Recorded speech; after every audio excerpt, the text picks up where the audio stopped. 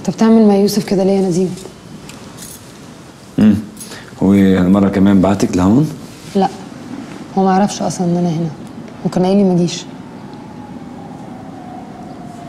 هيك فجأة اكتشف إنه هو رجال؟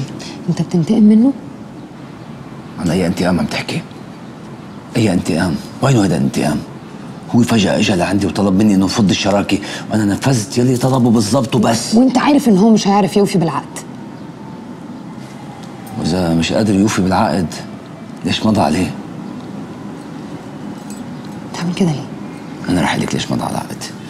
هو مضى على العقد لأنه حسبها براسه كتير منيح. إذا هو ما قدر أنت بتقدري. طلعت حساباته كتير صح. أنا طلعت الشاري وبلعت الطعم بكامل إرادتي. وأنت جيتي بالآخر خربتي كل شيء. يبقى انتقم مني أنا مش منه هو. ما بقدر. أنا ما بقدر انتقم منك. بتعرفي ليه؟ اولا لأنك ست.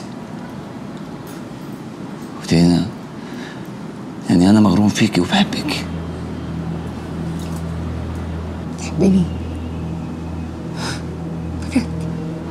إيه عن جد؟ إيه أنا بحبك عن جد؟ وانت بتعرفي هذا الشيء. فاكر لما كنت بحكي لك عن الاتنين اللي أنا حبيتهم قبل كده؟ وإزاي إنه بعد وقت فاجئوني بجانب جديد في شخصيتهم أنا ما كنتش عاملة عليه وعارفه إن أنا مش هعرف أستحمله.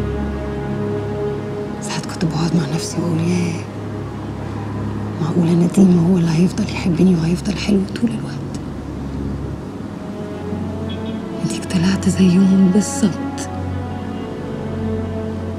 انتقامك وجبروتك. كشف السواد اللي جواك اللي كان مستخبي ورا العاشق الولهان اللي مستعد إن هو كان يعمل لي أي حاجة. انت بتنتقم منه عشان أنا رفضتك؟ أنت لما تقولي إنه هذا اللي حصل معناته إنه الطبع غلب التطبع. إحنا بحالتنا في شغلتين. في العاشق وفي التاجر. العاشق اللي جواتي كان مستعد يعمل أي شيء. حتى تكوني أنت مبسوطة وفرحانة. العاشق اللي جواتي كان مستعد يضحي بكل شيء. بس لأنه أنت تكوني حبيبته. بس أما التاجر لا. مش رح يقبل إنه يظهر خسران. كل شيء دفعته كرمالك رح يرجع لي على آخر مليم أنا التاجر اللي جواتي ما بيقبل إنه يبقى خسران. معهوش معهوش اذا بيدفع اللي وراه واللي قدامه وبينسجم بالباقي. خليه يدفع ثمن غلطه. وثمن غلطك أنت كمان. مش هو بيقول إنه بحبك؟ مستعد يعمل أي شيء كرمالك؟ ها؟ مش هو بيقول لازم يضحي بكل شيء لحتى تكوني انت مبسوطة. خليه ينفذ بالفعل مش بالحكي. معقولة؟ معقولة انت حقير للدرجة دي؟ مش أحر من رمالي مرته طعم.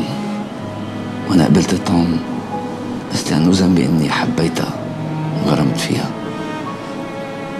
ولا أحقر من اللي باعت حبي. ليك لأنه قررت فجأة ما بدها تحس.